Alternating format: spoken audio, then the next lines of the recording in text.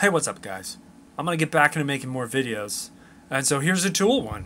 Do you got a bunch of Ryobi batteries like I do? Because look at this. They call it the power source, and it uses Ryobi 18 volt 1 plus batteries. First, I'm to use it, and then I'm to do some pros and cons and tell you about the problems I've had so far with it, and then I'll finish by cracking it open so we can see what's inside. Stay tuned. How can you use it? You can use it like this. Here I am in my shed, and this is one of those Sam's Club LED light bar things that they sell. It's pretty bright, and it'll stay on uh, for a couple hours on this 9 amp hour battery. Yep. Christmas lights? Get it done. Duh. How about a car battery charger, like a 12 volt battery charger? And some of them actually, yes. I can use uh, this one, uh, but not this one at the 50 amp start setting, but uh, at the 10 and 2 amp, yeah. And I've run it at the 10 amp setting for about an hour and everything was okay. A mobile haircut? Yeah, get it done, do it. Charge a USB brick? I mean, I guess so. Yeah. The battery to charge a battery? A coffee maker? No! Again, that's way too many watts. It's like a fridge. No, don't do it. Power strip? I mean, yeah, but it doesn't use power, really. This scooter? Yes. Because it only pulls 70 watts while it's charging. And this 9 amp hour battery can put over 6 miles into the scooter. Not bad. And so, yeah, an electric scooter. What about an electric car? No. Again, there's just way too many watts. Plus, there's a neutral floating ground or something, so it wouldn't even. No, just no. Okay, what about a laptop, though? This is iffy so my gaming laptop can pull 280 watts according to the adapter when it's going like full blast. But under normal light use, uh, it only draws about 30 to 100 watts. So the answer is yes for web browsing or word processing, but no for full on gaming or like video editing or anything like that. But a solid yes uh, for smaller laptops like this Chromebook. And I've got a review of that in the eye in the corner of the screen. Yep, if your electronics use less than 150 watts, then this thing should work. Okay, let's do some pros and cons. Pro, it's compact. It fits in your hand easily, and it's got a grip. It's grippy. But uh, there's a con, is it feels cheap. It's super light, which I guess is a pro, but I don't think it's built like the power tools. Like I wouldn't feel comfortable dropping this on the ground or anything. Yeah. Pro, it has a cooling fan. But a con is that the fan doesn't seem to work in any sort of regularity or have much like airflow. It does turn on, but it can get over 120 degrees Fahrenheit and not turn on, but other times it'll start at that temperature or below.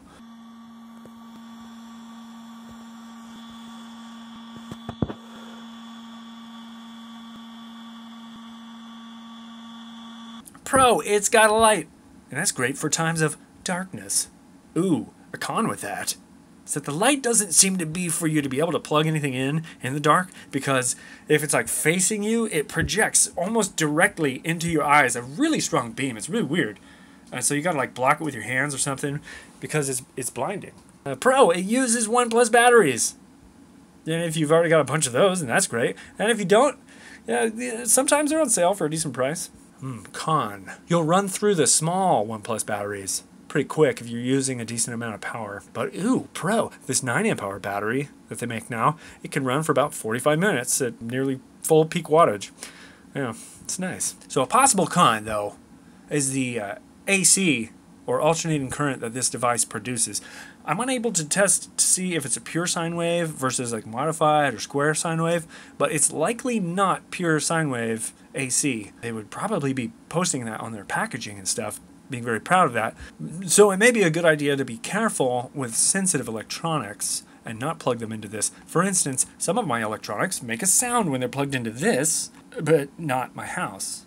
Con, the power button. Though it's easy to operate, it's a little too sensitive for my liking. So if you are mobile with it and have it in like the back of your car, for example, and you take a turn and then it rolls over and hits something, it may shut off or turn on. Or uh, Pro, the button is that it illuminates. It's red when the battery's getting low, and it's easy to see from a distance. It's green when everything's fine. Yeah, I'm using the battery gauge on the battery. It, it doesn't affect the operation of anything, so that's okay, right? And the biggest pro, uh, if you get it, you've got a portable outlet. And that is convenient compared to not having a portable outlet. Okay, the biggest con for me so far is that the USB ports just stopped working. And I, have had two of these power sources so far, and uh, the first one, the USB ports failed within minutes, and I was just charging my phone, and it was drawing about an amp, and then it just failed. Uh, and then plugging in a USB cord, it wouldn't do anything at all. Uh, except occasionally it would turn on the light, which is really weird because it wasn't applying pressure to the like the light button or anything. But yeah, and then after about a week of not using it, I tried using the USB ports again, and the phone would recognize that there was voltage, uh, but it there was no current, so it was not charging. Uh, so like things would plug in and like beep boop and stuff that just wouldn't charge. And I tried with several electronics uh, and, and several different USB cords, and it just it failed. And I can most accurately measure this with my AccuBattery app on my phone and just there was no positive flow of current. And I just yeah. There finally might be like a pro with this con uh, for you to consider, I guess. Uh, so a person from Ryobi saw a review that I wrote on Home Depot's website highlighting the issue, and they reached out to me uh, to replace the thing, and that was nice. And I commend them for being on top of the customer service. But the replacement unit did the exact same thing and not even an hour into use, the USB ports stopped working. So it is possible that this the USB problem is rare, uh, but just be advised, it's an issue I've had, and some reviews online as well show that. So, yeah. But anyway, congrats, you survived the PC list. So let's crack this piece open. Okay, so here I am taking it apart. There's four screws holding it together. They're just regular Phillips screws. And then there's a sticker on top that holds the two halves of the case together, and, and then it just like cracks apart. And there's not a whole lot going on inside. Uh, there's this fan I was talking about earlier. It's more like an afterthought. There's no like shrouding on the inside or anything. And yep, they just threw a couple PC boards with some parts on them. The buttons are just uh, you know slid in from the sides as well. Uh, whoever designed it, you know, they spent probably a good day on just throwing this in a CAD program of some sort and just putting it together. Uh, yeah, just because I can, I'm just gonna chuck this on a battery and press some buttons. Ooh, there's the lights. You can see they're just surface-mounted LEDs, and uh, they they are at some sort of frequency that makes the camera uh, show it as if it's pulsing, which it's not. And here I am giving it like a Vulcan stare, trying to fix it with my stare because those USB ports they just aren't working. I can't see anything wrong with with the board. There's a little bit of like buildup uh, on some of the solder pads, sort of. Uh, there's no parts that seem to be blown out that I can tell. There is uh, that fuse right there to the right. It's a 25 amp fuse. I think it's 12 volts. It might be uh, running the 120 volts. I, I don't know there's there's a look at a lot of the the parts. Uh, Eighty bucks is about what I spent on this thing.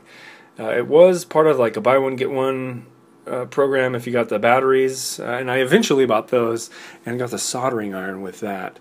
Mm, but yeah, uh, don't expect those USB ports to work, and I think you'll be satisfied. Uh, I've run it uh, with a printer for a while, that was good, and also I had some Christmas lights in the car. ran for hours, that was good. So I have used this thing quite a bit. just the USB ports don't really work out. So yeah. All right, tell me what you think about this thing. Would you buy one? Have you? Has it been working okay? Let me know. And uh, anyway, yeah, I hope that helped. See you later, Internet.